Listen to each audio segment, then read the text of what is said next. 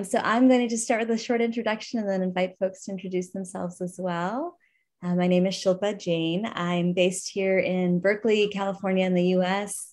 Um, it's two in the afternoon over here. I've um, been working on conflict transformation, healing, bridge building, community building for over 25 years, which feels wild to say. Um, I am that old. Maybe I don't look it. That's because I do this work. I get to feel fresh and young all the time.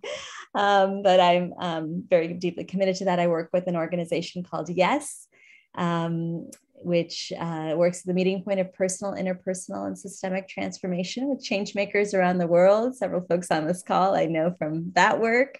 Which I feel very delighted about. And I also spent 10 years in India working with Shikshantar, um, in its first phase um, as a learning activist there. So deeply committed to unlearning, uplearning, healing, learning together, building, especially across the divides in our societies and our world. Um, so really happy to be here with you all as we dive into this conversation on what the importance of learning and building bridges um, through conflict healing and healing of our traumas. So thank you for being here.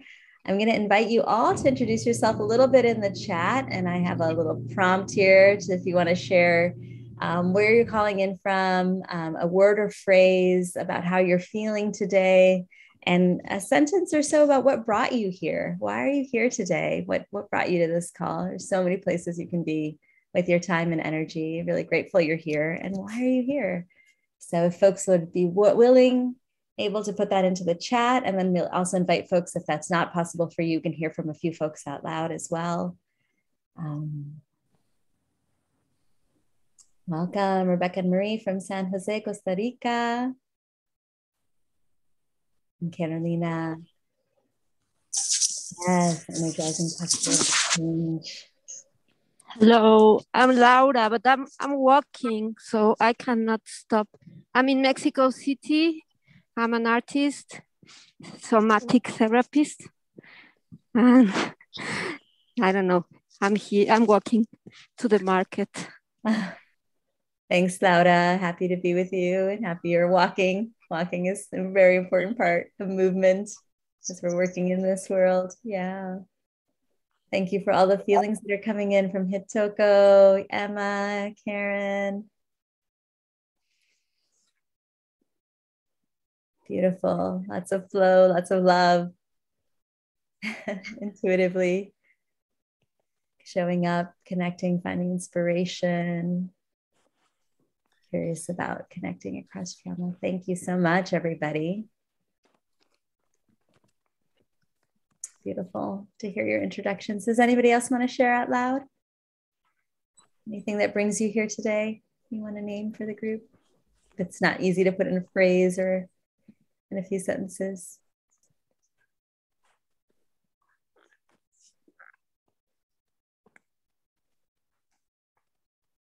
Okay.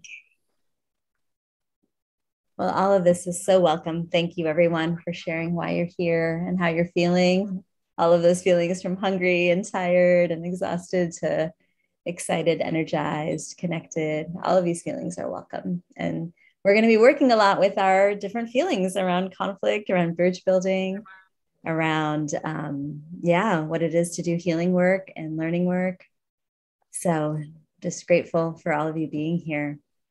A lot of my background on conflict and, and bridge building comes through um, my own childhood and a deep sense of needing to be a bridge builder. I grew up in the US as an Indian American um, person and had to connect to so many different cultures and places and people um, all through my childhood and through my life, back and forth to India as well, and in the US, and then speaking Spanish and connecting with folks through this language, and then traveling in the Middle East a lot and working there. So, so many different relationships and opportunities. Um, and something that I've just come to see over and over again is that conflict is like it's just like an, an essential part of what it is to be in community that i can't really be in community if i don't accept the existence of conflict and the inevitability of it. And can i flip my frame on it so that instead of seeing that as a problem and something that's broken the community that i could see it as an opportunity for things to come together again and to, to strengthen deeper in community? Um, So that's a little bit about where I'm coming from and why I wanted to host this space. And to me, it's like an essential part of unlearning um, and uplearning is shifting this relationship to conflict towards one of this possibility of bridge building. So before I get into too much around that, um, I'm going to invite us to share a little bit in our in a Jamboard about what it means to us, what each one of us feels around conflict transformation, bridge building, all of that. And um, I'm going to put the link here in the chat. Give me a second. Oh yeah, here, maybe I'll show this graphic before I put that link in. This is this is an essential reframe that I wanted to offer for our time together. So there's this beautiful quote from Malidoma and Somé that conflict is the spirit of the relationship asking itself to deepen. And whether you're feeling conflict more that looks like more like what it looks like on the right hand side, or just like two people on the same boat, but kind of going different directions, or if it feels like something on the left hand side, like a big ball of fire and a lot of energy and people standing um, with a big bridge to cross, maybe there might be some diversity there, but wherever you are, all of that is welcome. And I'm going to put here in the chat is just these pages. Are folks familiar with Jamboard? Gonna, I'm just showing you a little tutorial quickly. You'll, you can grab a sticky note and answer this question. What does conflict transformation or build, bridge building mean to you? and you can put in whatever you like. So you grab a sticky note of, I'll say it means um, the meeting point of differences, seeing each other. For example, I type something in and I just hit save and it's gonna turn up on this board and I can move that post-it note around to another spot. Um, I made two pages for this, so page four, uh, three and four, and I'm just gonna put it here in the chat. And I'll stop sharing my screen so you can go ahead and add to this. I would love to hear what does it mean to you? Beautiful. And as you start, um, maybe I can share the screen again as folks are adding some answers in here. Anybody lost and need support? Or if you can't get onto the Jamboard for some reason, if you're on your phone or walking, you can always put it into the chat or just speak it out loud and I can add it in. I can't get into the Jamboard. Okay. Do you want to just share out loud, Luna? Or sure. So, so you want to know what conflict means to us? Yeah. What is conflict transformation or bridge building? What is what does that mean to you? Uh, all the above means to me that we find comfort in those who agree with us and growth the, with those who don't. Beautiful. I'm going to add that in here.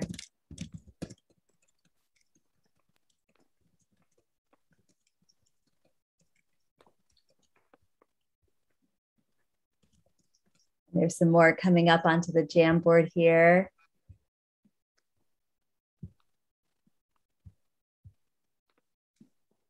Anybody want to popcorn out some of what you're seeing? And I'll do a little screen sharing as well. Lots of things are coming in and coming through.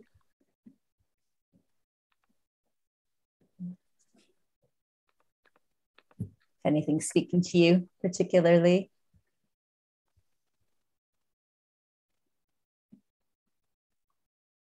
see a lot of perseverance and acceptance, honesty, authenticity, respect in relationship.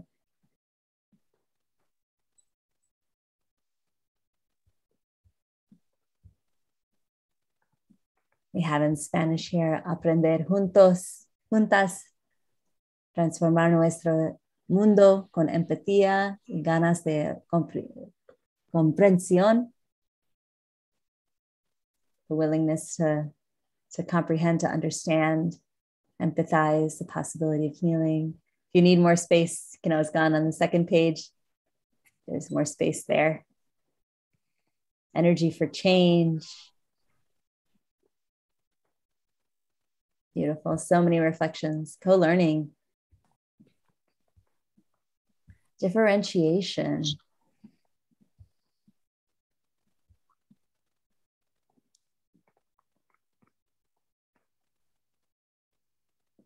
anyone want to share things about what they're seeing here? What are you noticing as you look around the board? And there's some more in the chat. Thank you, Emma. I'll add those into the board as well.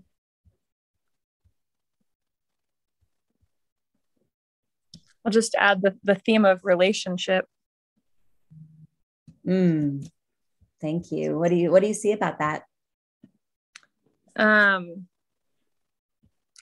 most of these words to me are like our supports of staying in relationship authenticity honesty perseverance uh, ways that we can stay in good relations yes, yes. thank you for that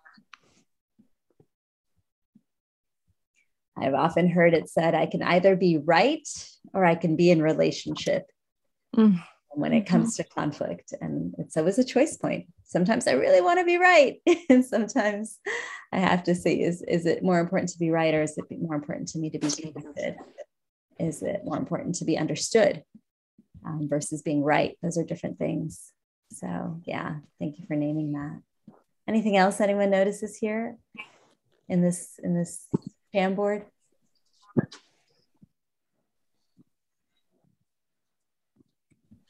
I, I guess possibility. So there's no guarantee necessarily that the bridges will be built, but there's a possibility for it. Mm. Beautiful, Megan. Yeah. How, what does it mean to like hold that hope of that possibility in this time? Right? That I could build a bridge, that I might be able to make a connection, that I might be able to transform this conflict. Yeah. And it often feels like when i'm in a space of conflict sometimes it feels like the walls are really narrow and there's no space for that possibility. So transformation can sometimes feel like just like the opening of the, the oh it maybe maybe something is possible here that i didn't think about before. Yeah. And what does that do for our reimagining and our unlearning and our healing Anyone I else? think I might. I just would say, like, I feel like looking at the Jamboard and thinking about my own response to this, like, it's easy. I feel like there's this kind of like superficial level of like wanting to talk about conflict as an opportunity and like a door opening and like, but it's also really, really hard. And I really want to bring that in, you know, not to gloss over the real difficulty and the almost like allergy that I have toward conflict, you know? Mm-hmm. Thanks for that, Erin. Yeah, it's so important to hold that too. That's also part of the truth. It's not easy. It is hard. It's really hard. And I'm seeing what Ella wrote here in the chat too, that it can feel overwhelming.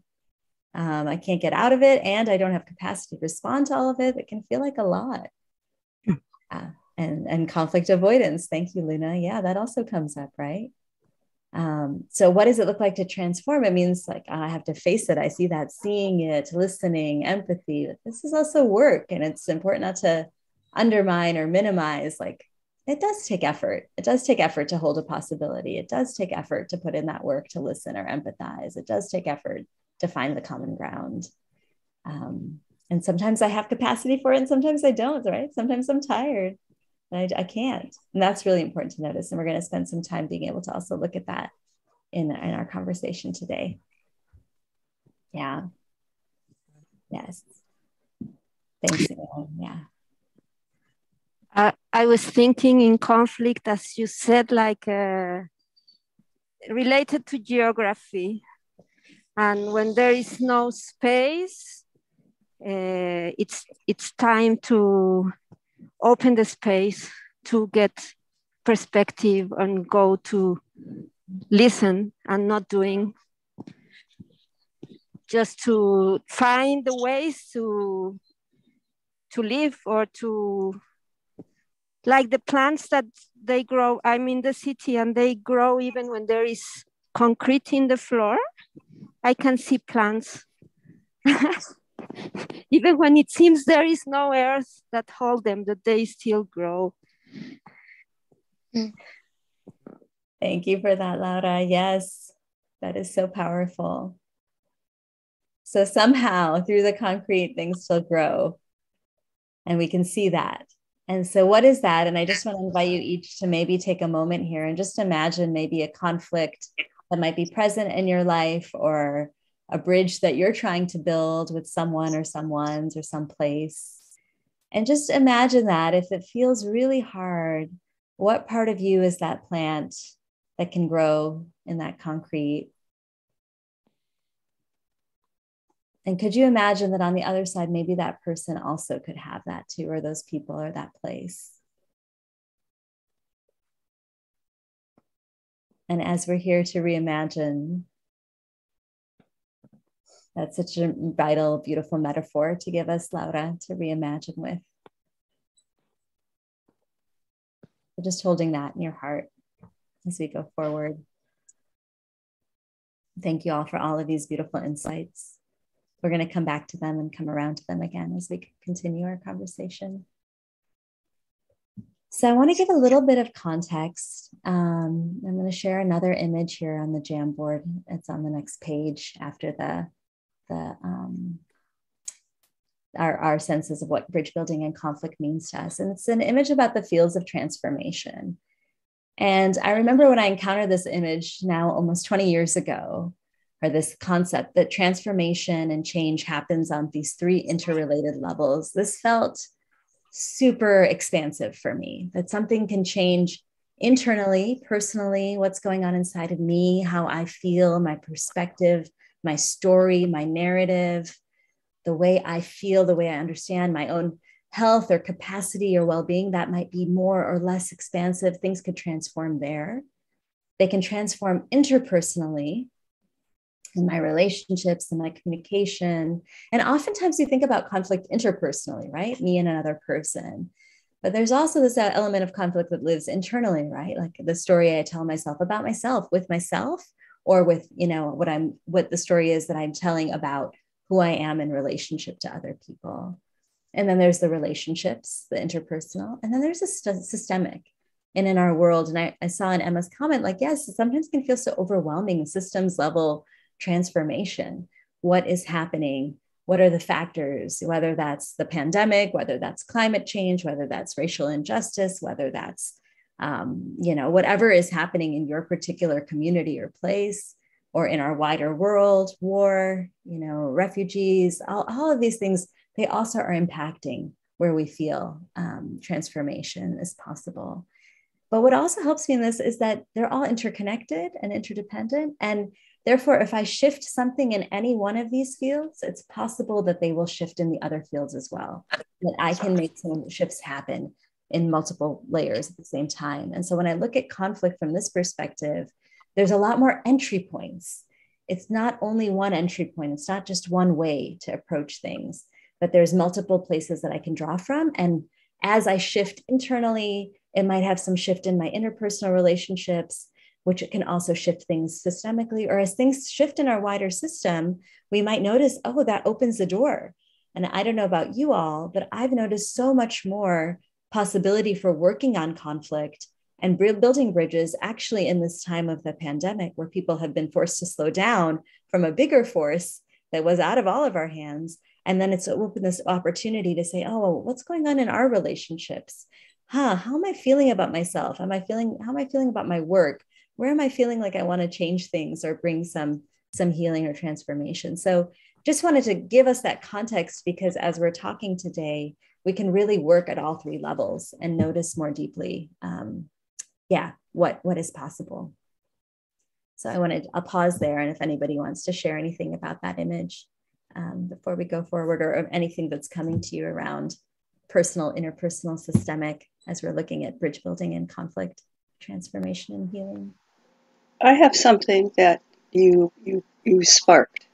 Sure, Luna. Um, I was I did a uh, I participated in a conference last year with Gabor Mate, and he brought in a lot of the indigenous community from all over the world that were both academics. And one of the things that he commented on to the whole community was his own transformation about when he is engaging in relations with the, his indigenous brothers and sisters, he had to let go of his judgment that they were speaking and moving too slow. Because and they were consciously intently moving in a slow pausing manner because that's how they are healing trauma both in themselves and in their communities. It's very western eurocentric to to to rush and keep track of linear time and right and speak really fast and succinctly and be efficient right? So I'm I'm doing that now. Like slow it down. Slow it down. Beautiful. Thank you, Luna. Yes. That is, if I was going to have one walk away from this, it would be that like slowing down is absolutely essential for the healing of trauma, for the working through conflict, for the building of bridges. And how we approach our slowness, how we feel about slowness might be someplace that I could do some inner work as well as interpersonal work um, and notice what, again, what slowness brings us as a gift as well. So thank you for that. Anyone else have anything that sparked that they want to share in this moment?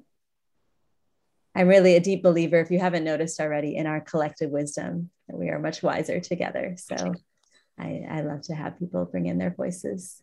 I see you, Yayo. Yeah, please. And then maybe Emma too, I see. Yeah.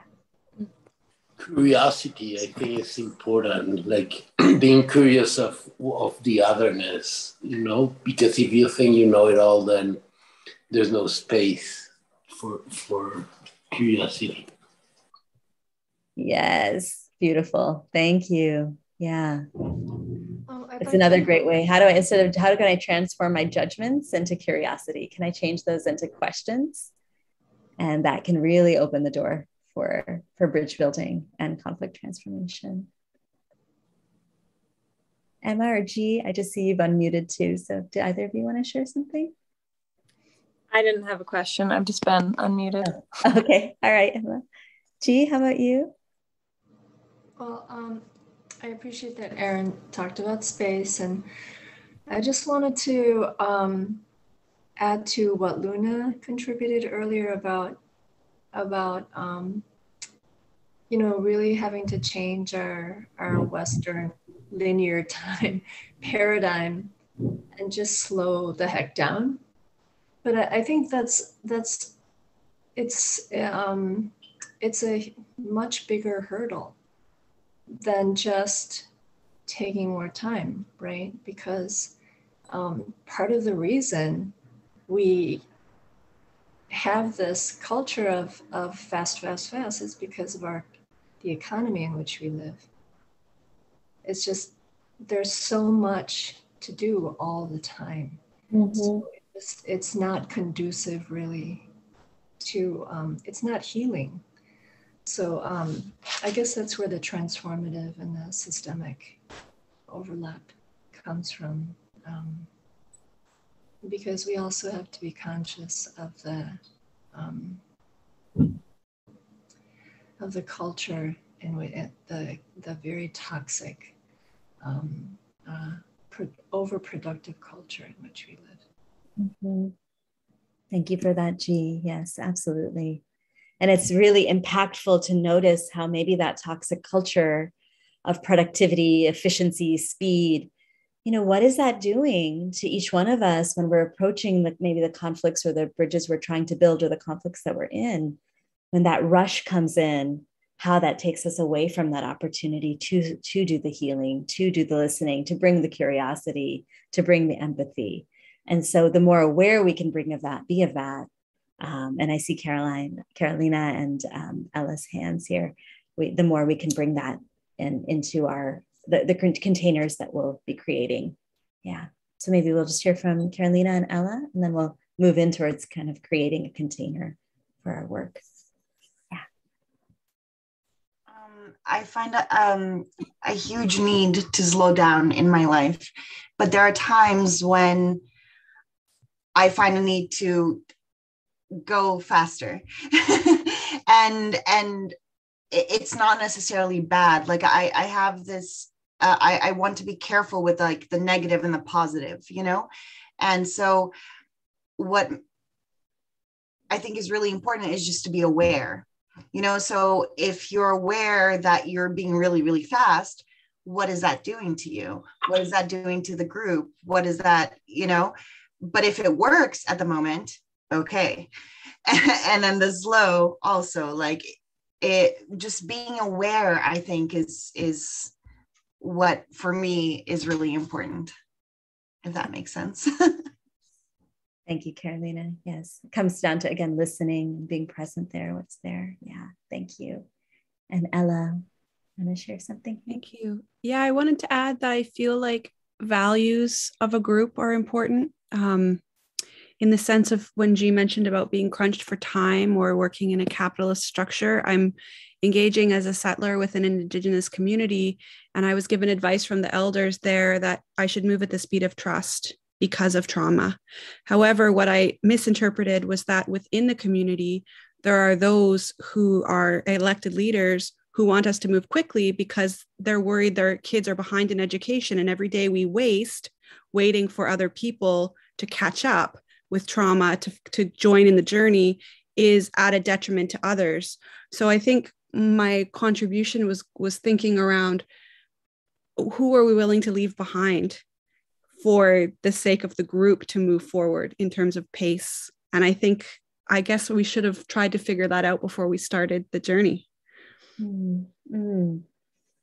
yeah thank you for that ella i think that dovetails really well into to where i want to go which is around the container that we're building, right? And in your case, this journey that you're talking about.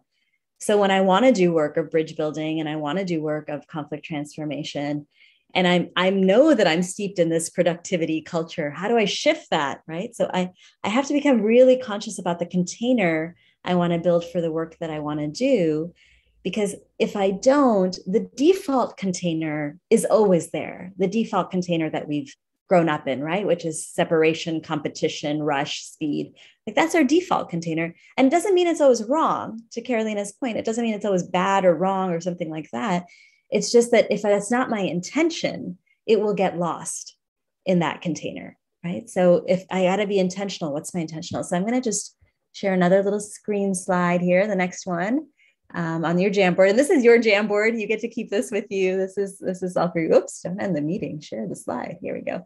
Um, so here, and so I'm going to just give you a few aspects of what's really vital for creating that kind of container that I've learned over time. One of them is our agreements. And so here on the right hand side, I'm just showing you some agreements. And this kind of connects to what Ella's saying about values, right? What are our values? What are our agreements? How do we want to operate together? here's ones that I often use. You know, one person at speaking at a time, one mic at a time. It's just a human capacity. I can only hear, really listen and engage with one person at a time with my full consciousness and presence. I language, sharing from my own experience. This is how I feel. This is what's happening for me, rather than you and you know and you wonder or we, we all, um, or they or one, you know, something separated, but just kind of owning my own experiences here and taking that vulnerability on right that i i have something here that i need to share my impact my experience and then listening to others from that same perspective that this is another way to um, hear and honor multiple truths at the same time confidentiality often important for creating a sacred container a safe space where people can feel they can express without their words being taken in other contexts or out of context um, honoring yourself and each other right? So taking care of your body, listening, being able to take care of um, well, how I'm going to show up with each other and, and honor the time and the space that we have and have some respect for each other and ourselves. And then deep listening. Um, and these are the agreements, and I love this graphic of listening with the heart, right? These are the agreements I often use in creating a container. You're welcome to take them into your work. They're very helpful. And then I always make a space for people to add additional agreements, right? And then the other side of the container building is this three I's principle the invitation, the intention, and the language, I language. I language already touched on over here with the agreements, but the invitation and intentions are really important. And so the invitation, just to Ella's point, like what's the invitation we're making? What are we, are we clear about what we're doing here together? And so I put out my invitation, or the group of people I'm working with, we put out our invitation and then allowing people to say yes i want to say yes to that invitation or no i don't want to be part of that invitation and trusting that right? That's a lot of our healing from our education system where we we were kind of forced many of us were forced to do something that we didn't want to do. And the very the big difference in an invitation is i'm also waiting for the acceptance of the invitation right? So then there's choice. Then there's that already shifts the channels of my brain. So i'm more open open hearted showing up with presence with my participation and then the intention, again, a shift from expectations where I'm coming in, maybe what I'm expecting, I'm making assumptions, I think the other person knows, they have a sense of it. Usually the person doesn't know or the people don't know. They haven't agreed to it. And we're trying to move forward based on expectations. Whereas when we make visible our intentions, which is what I, you know, started the call with, why are you here? Then we all can say, oh, yeah, these are our intentions. This is why I'm here. I know what I'm going for. And I can also see and make visible what other people are here for. And all of that makes our container so much stronger and makes it possible for us to know why we're here, what we're coming together to do. And that clarity can really serve us in, in um, our conflict transformation or our bridge building work. So I'm going to again pause here and see if there's anything folks want to add in as you're looking at that. This. Thanks for all the things that are coming in the chat as well.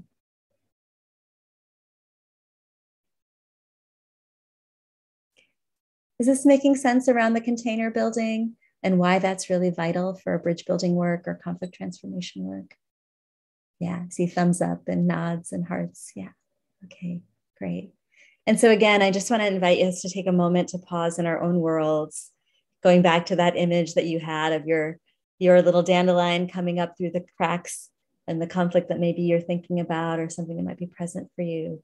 And just imagine the container that you might want to build for that.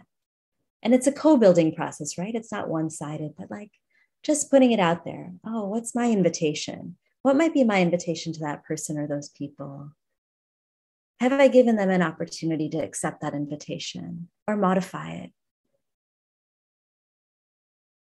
are we clear about why we're coming together have we set some intentions together can we set up some agreements to make it functional in our space together so just taking a moment to imagine that. And I see your hand, Megan. Yeah, you want to say something?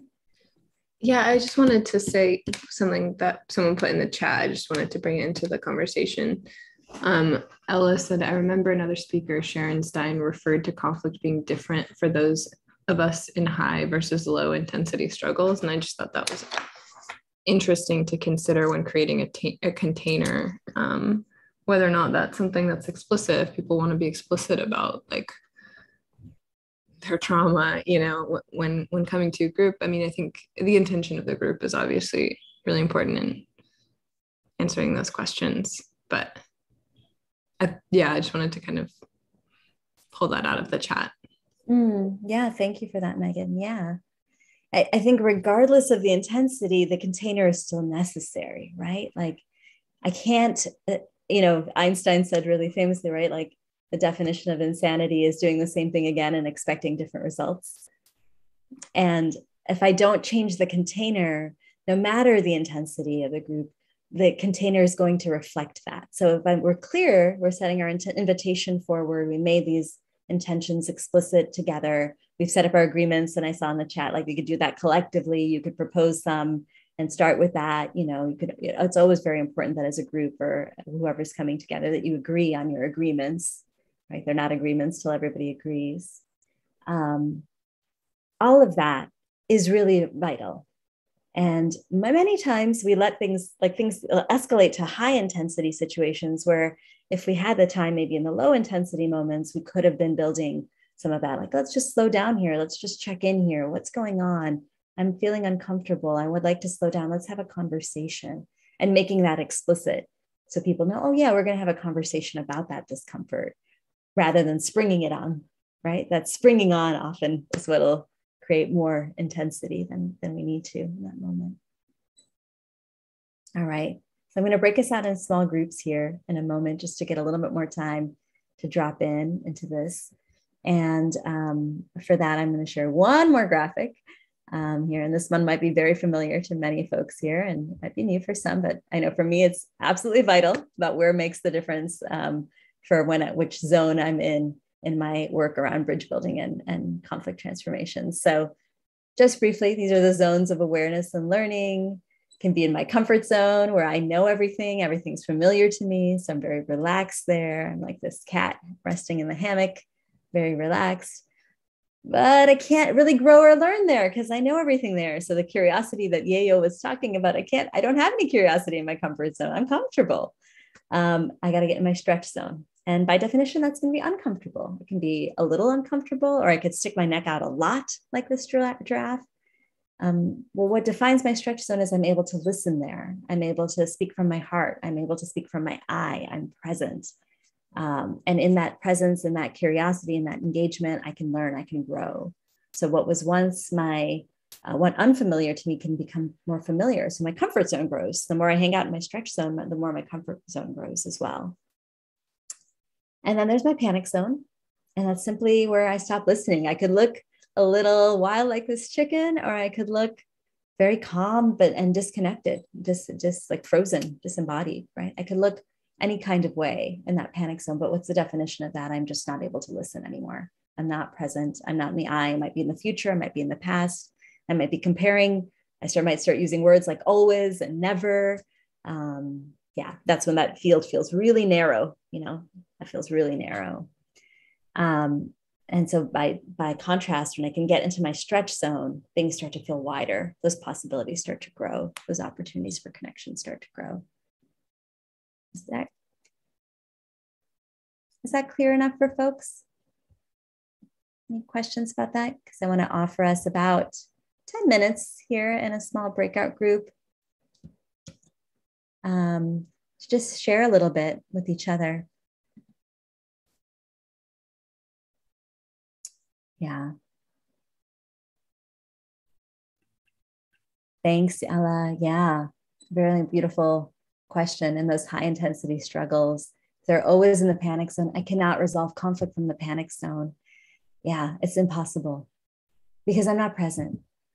And I want to maybe talk about social injustice or inequity, but if I'm always operating from that space, I can't even be in that. I'm struggling constantly to just be present. So thank you for that question in the chat. It's really, really vital to name that or name that situation. You know, we have to come to create a container out of that. I have to make that invitation, slow down, invite that space for the intentions, the agreements, and then just it just takes time and slowness to get there. So I want to just offer us these questions and we'll just take, we'll just maybe we'll, we'll take about, given the timing, gosh, an hour is so short to do this work, but we're, we're going to do what we can. I'm just going to create some breakouts and we'll just get into a pair with someone else here. Um, and just give yourself a few minutes each to just talk about what do you notice is in your comfort zone? What do you notice is in your stretch zone? What do you notice is in your panic zone around conflict transformation and bridge building? Is that all right for folks? Hi, everyone. Welcome forward. Can't go back, so welcome forward. And thank you all for the time you got with your partner or partners.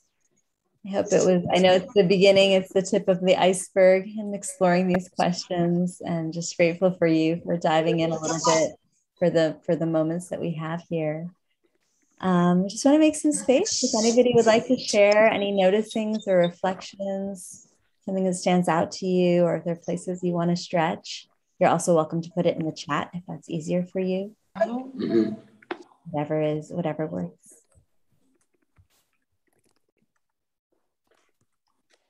Feel free to unmute. Maybe you can add something if you can hear me.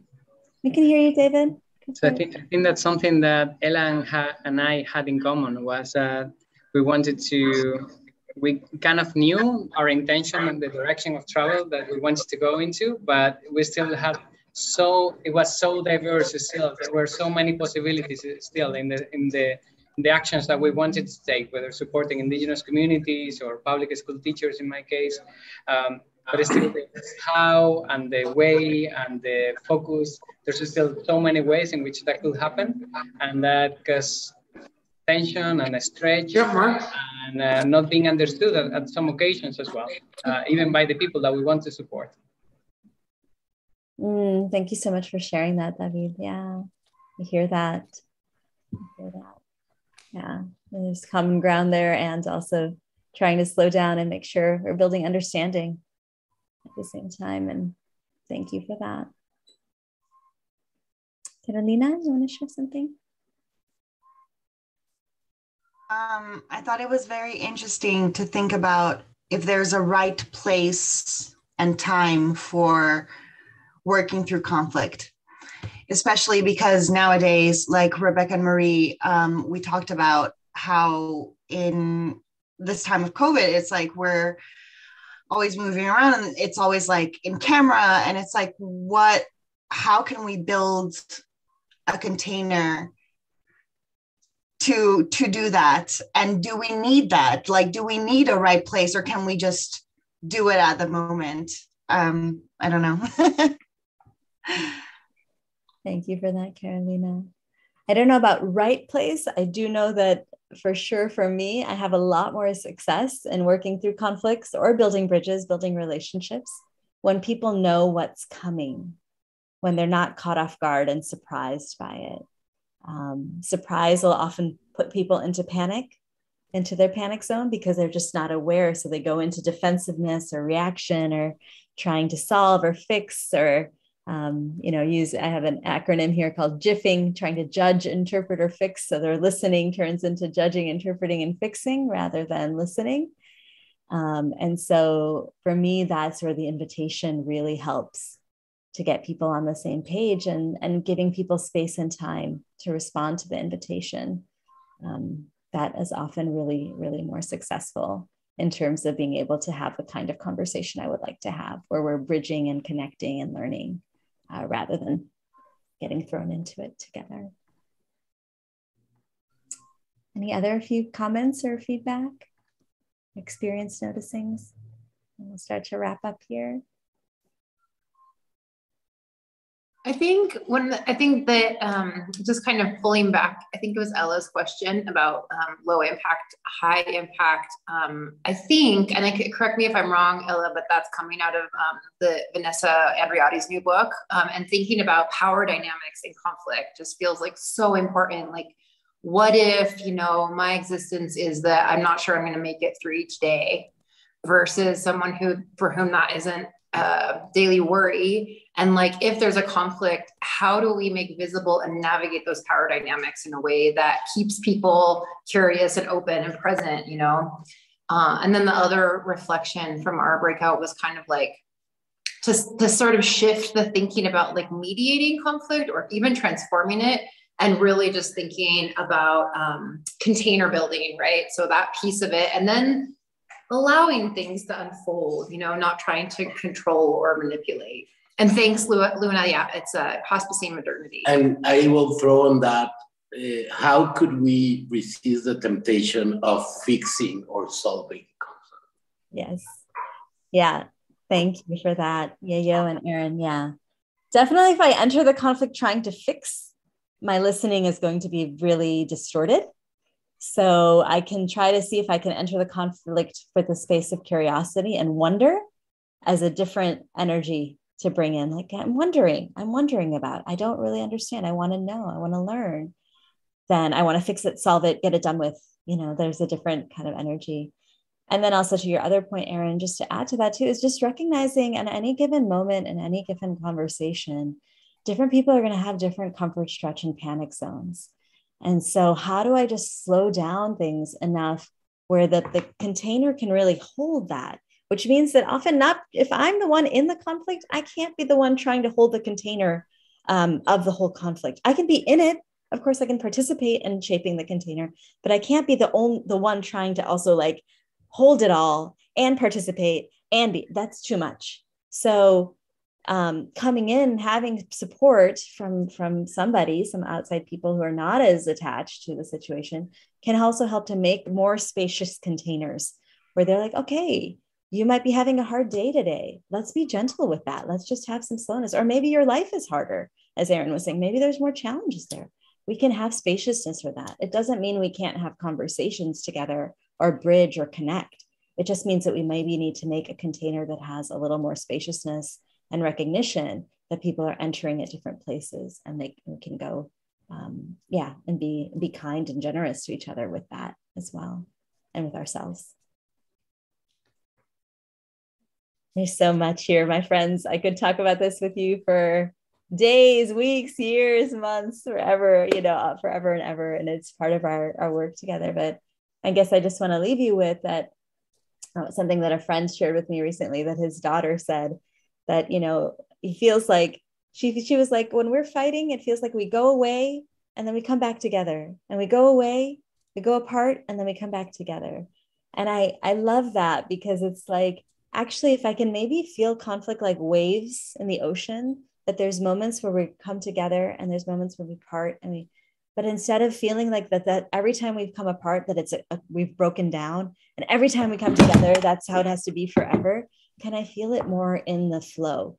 And if i can feel that in the flow then maybe i have more spaciousness to meet others in that flow to meet each other in their flow of our comfort stretch and panic zones and then the possibilities of us connecting and, and coming together again.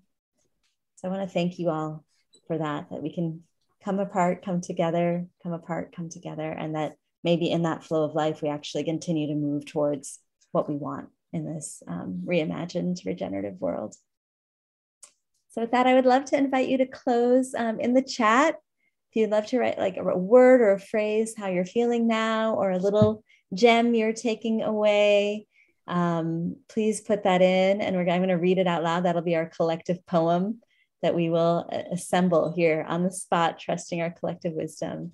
A word or a phrase, how you're feeling, or uh, a nugget you're taking away. And I'll give ourselves 30 seconds here to do that. Yeah, I was told I could go five minutes over, so I'm doing my five minutes over.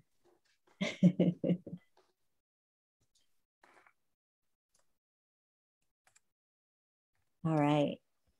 Beautiful. There's so many beautiful things here. All right. So here's our little poem together. I invite you to close your eyes and take it in and maybe coming back to that conflict you've been imagining and just and adding this energy into it as you move forward. Sipping from the well of collective knowledge. Thank you. Resourced, sticky. Wish there was more time. It's always lovely connecting, more space. And thank you feeling a curious amoeba energy here. Be listened to. Might it be all it takes? Thankful, recognized, and in awe. Being on time is not the only measure of right. Open. Oscillation between conflict and connection is like in breath, out breath, tiptoeing with grace, waves and ripples. I also welcome what cannot be shared and named. Thank you, everybody. Appreciate your time, your energy, your commitment to building bridges and conflict transformation and healing in all our different pain points. Feel free to unmute, say goodbye, say whatever you need to say. I love you, sister. Thank you. Thank you. Gracias. Good night, everyone.